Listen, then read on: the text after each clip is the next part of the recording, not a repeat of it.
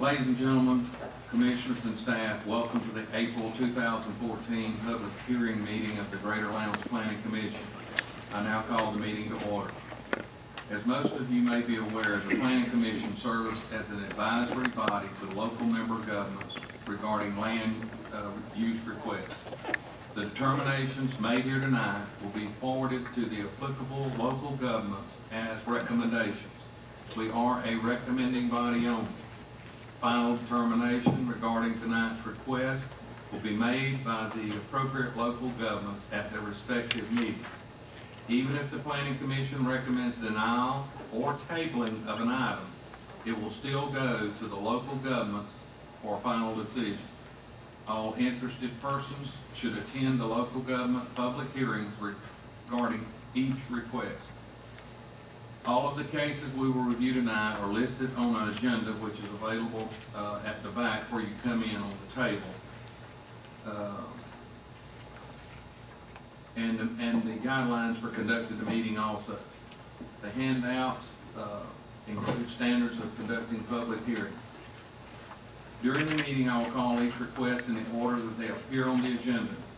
Staff will then present their report regarding the request and give their recommendation. The commissioners will have discussion with staff at that time. I will next call for those wishing to speak in favor of the request, and then for those wishing to speak against the request.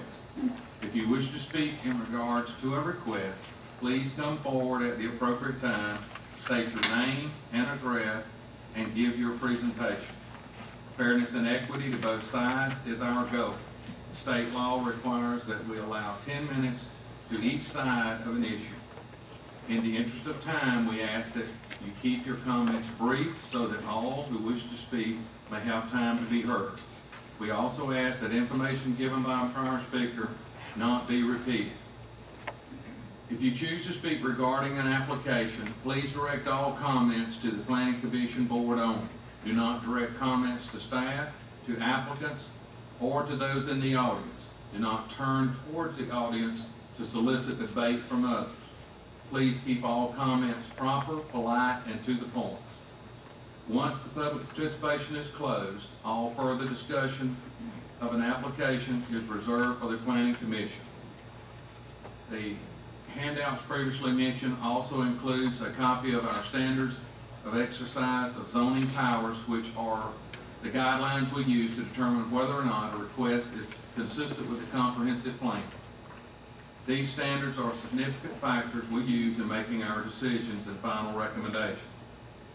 The handouts also include a copy of Georgia's Conflict of Interest and Zoning Law guidelines.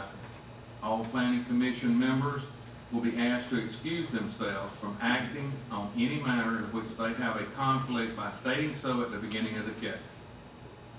Final action tonight on tonight's applications will be as follows. The city of Valdosta will be Thursday, May the eighth, two thousand fourteen, at Valdosta City Hall.